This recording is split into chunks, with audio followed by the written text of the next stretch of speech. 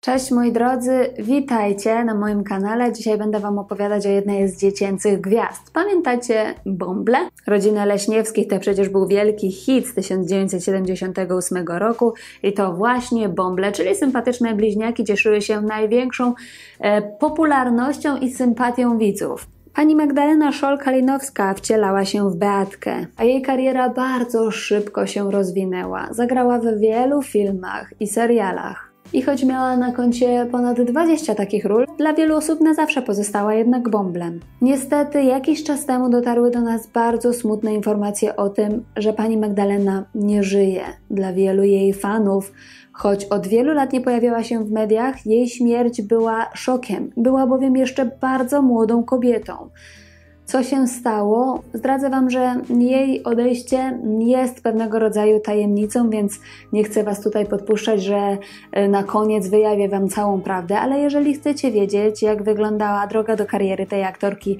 i jak wyglądało jej życie po tym, kiedy zdecydowała się porzucić aktorstwo i właściwie skąd taka decyzja, to serdecznie zapraszam Was do oglądania.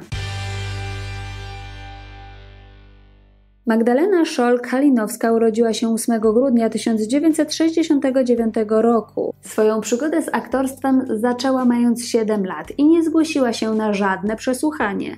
Wręcz przeciwnie, w tamtym okresie to właśnie ekipa filmowa przechadzała się po przedszkolach, zerówkach, szkołach w poszukiwaniu młodocianych aktorów. Była to ekipa najpiękniejszego dnia na świecie, tak nazywał się film, w którym zadebiutowała pani Magdalena i ją odnaleziono właśnie w jednym z łódzkich przedszkoli. Przyszłam tam w spodniach w kratkę, ubrudzona dżemem. Nawet przez myśl mi nie przemknęło, to, że a nuż mogą mnie wybrać, wspominała w 2014 roku w rozmowie z Onetem, wspominając swój debiut. Ale potem e, chyba poszło jej na planie wręcz rewelacyjnie, bo jak inaczej wytłumaczyć to, że zapraszano ją do kolejnych filmów, niekiedy bardzo wymagających.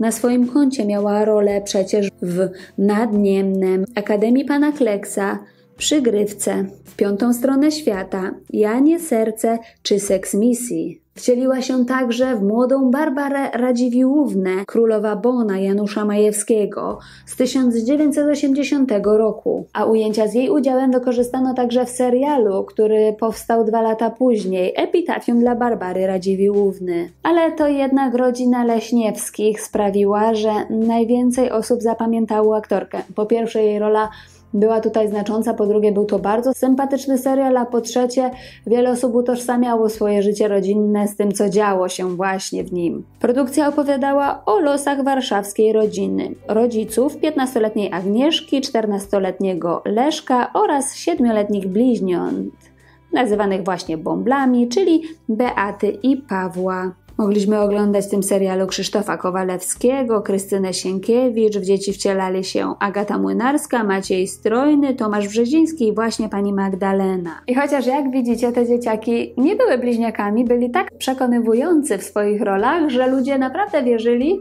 że łączy ich pokrewieństwo. Pan Tomasz Brzeziński, który wcielał się w tego bąbelka drugiego, nie kontynuował swojej kariery i został dziennikarzem sportowym. Kariery nie zdecydowała się, tak jak już Wam powiedziałam we wstępie, kontynuować także pani Magdalena. Ale z całej dziecięcej czwórki właśnie tylko ta dwójka, dwójka, która grała bliźniaków, miała wcześniej doświadczenia aktorskie. Ale mimo, że ogólnie zwracano uwagę na bliźniaki, to jednak właśnie ta Beatka była tą najbardziej ukochaną przez publiczność. Mimo, że zagrałam w ponad 22 filmach, to wciąż jestem bąblem, wyznała w Dzień Dobry TVN. I mówiono często, że była słodziutka, chociaż pani Magdalena mówi, że to w ogóle nie stało nawet nawet blisko do tego, jak kim była dzieckiem. Załamuję się, gdy słyszę takie teksty. Nigdy nie byłam słodkim dzieckiem. Zawsze byłam od cholery, wyjaśniała w Onecie. I może zastanawiacie się, czy jeśli porzuciła aktorstwo, to po prostu jej się to jako dziecku nie podobało? Nic z tych rzeczy. Uważała, że była to niesamowita przygoda, która na dodatek wiele ją nauczyła. Ale zwróciła jednak uwagę, że wcale nie jest tak, jak nam się często wydaje, że ten świat, który wydaje nam się taki interesujący, niedościgniony, właśnie być może dlatego, że tak niedostępny, tak pociągający, jest super. Bo tak jak Wam często powtarzam w moich odcinkach, Gwiazdy to z jednej strony normalni ludzie, a i wśród aptekarek znajdzie się ktoś wspaniały i ktoś, z kim nie do końca chcemy przebywać. To samo wśród na przykład elektryków.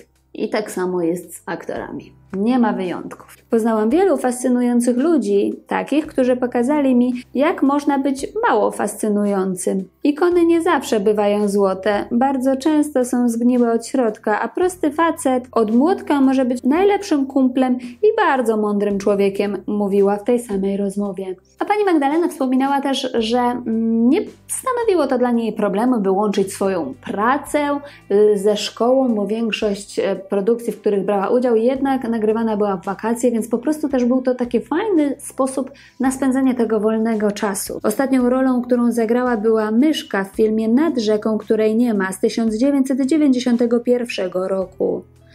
Wróżono jej wtedy pomyślną karierę, namawiano nawet do podjęcia studiów w szkole aktorskiej. Ona jednak stwierdziła, że to nie dla niej. I już w trakcie studiów na Uniwersytecie Łódzkim Zdecydowała, że nie będzie grała. Ukończyła socjologię w 1994 roku, choć temat pracy magisterskiej korelował z jej wspomnieniami, bo napisała pracę pod tytułem Stanisław Tym jako rzecznik prasowy statystycznego Polaka, szaraka w świecie felietonów tygodnika wprost. Przyznacie, że bardzo ciekawa decyzja o wyborze tematu. Przez wiele lat pracowała w gabinecie wojewody, w Wydziale Współpracy Krajowej i Zagranicznej, ale artystyczną smykałkę jednak w sobie miała zawsze.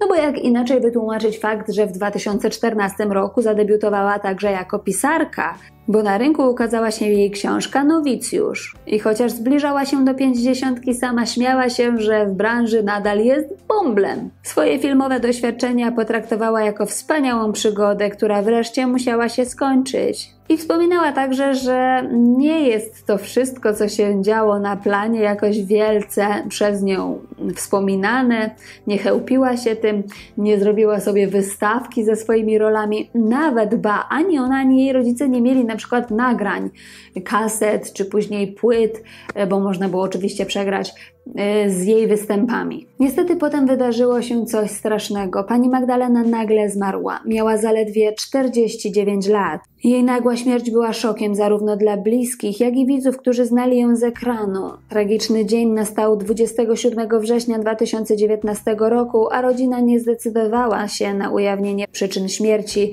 W komentarzach jednak pod postami informującymi o jej odejściu spekulowano, że była widziana w szpitalu na oddziale chirurgii.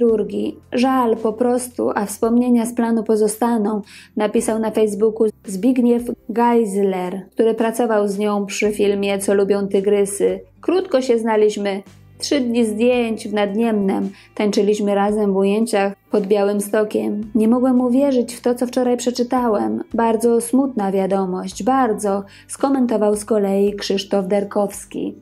E, myślę, że nie ma tutaj co więcej drążyć, ponieważ jeśli rodzina nie chciała, byśmy dowiedzieli się, co tak naprawdę stało się z panią Magdaleną, czemu w tak młodym wieku niestety zmarła, to musimy to uszanować z szacunku właśnie dla tej decyzji, dla rodziny pani Magdaleny i jej samej. Nie będę więc tutaj więcej jakichś teorii Wam przedstawiała. Mam natomiast nadzieję, że ten odcinek pozwolił Wam wspomnieć panią Magdalenę, czy właśnie jako Bombla. Dla mnie ta rola z królowej Bony to coś, co będę zawsze wspominać. Myślę, że dla takiej młodej dziewczynki niełatwe wyzwanie, a pani Magdalena sprostała mu rewelacyjnie. Ja troszkę żałuję, że nie została aktorką, no ale cóż, tak wybrała. Pozostaje nam często wracać do tych ról i do tej dziecięcej przygody, którą sama wspominała z uśmiechem na twarzy. Mam nadzieję, że i ten odcinek sprawił, że wy uśmiechnęliście się troszkę w duchu. Jeśli tak, to serdecznie zapraszam Was na kolejne na moim kanale. Postaram się uzyskać dla Was podobny efekt. Pozdrawiam serdecznie i do zobaczenia. Trzymajcie się, cześć!